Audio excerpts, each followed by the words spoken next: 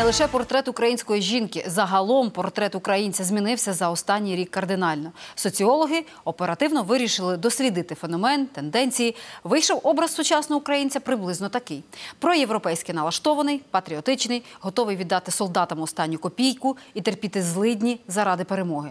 Українців сьогодні об'єднала не лише війна, а й непримиримість до корупції, одностайні і жорсткі вимоги до влади та її обіцянок.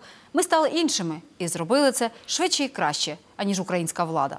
Нова версія українця зразка 2015-го від соціологів та кореспондентів фактів. Я вважаю, що українці завжди були українцями. Е, Просто вони не завжди так усвідомлювали. Юрій успішний маркетолог. У нього власний бізнес, любляча сім'я і двоє малих дітей. Він один з тих, хто добровільно пішов до військкомату. Прийшов е, сюди за покликом волі, за покликом совісті. Вважаю, що кожен чоловік він зобов'язаний, якщо він чоловік, захищати свою батьківщину. Це його святий обов'язок. І таких українців після майдану та з початком АТО значно побільшало. Українець нині не той, чия хата з краю. Він готовий і розбудовувати успішну країну, і воювати за цілісність держави. Чувство долга должно быть, чувство защиты своей родины. Тебя государство воспитало, вырастило, дало работу, дало семью.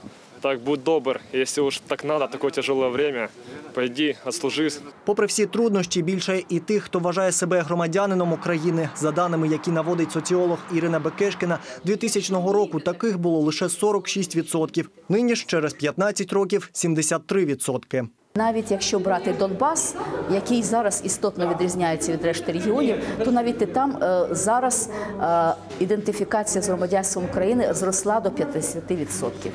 Причому 68% наших співвітчизників хотіли б народитись саме в Україні, 6 в країнах ЄС, 2 в Росії. Політолог Олексій Гарань вбачає ще одну важливу зміну. Після революції гідності мова більше не роз'єднує українців. Те, що нав'язувалося колись, оцей от штучний поділ на там західну, східну Україну, російсько-україномовних, він зник. І як не парадоксально, він зник в результаті значною мірою, в результаті, в тому числі агресії Путіна. Ще один чинник, що об'єднує українців бажання подолати корупцію. І сучасний українець той, хто не хоче давати хабарі чи брати їх. Сегодня борьба с коррупцией объединяет.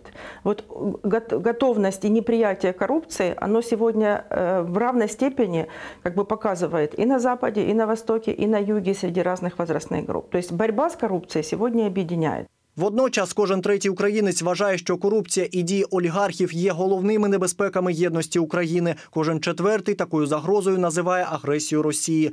Звісно, нині нас надзвичайно турбують і економічні труднощі, галопуючі тарифи, падіння гривні, зростаюче безробіття. Однак більшість українців готові терпіти, аби тільки швидше закінчилась війна, і нова влада нарешті провела хоч якісь реформи.